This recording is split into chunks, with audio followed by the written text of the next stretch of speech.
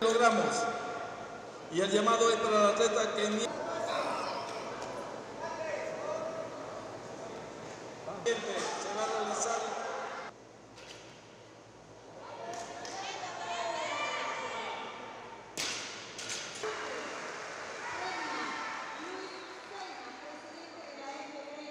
del Instituto de Deporte del Estado Sucre, Everett Wick.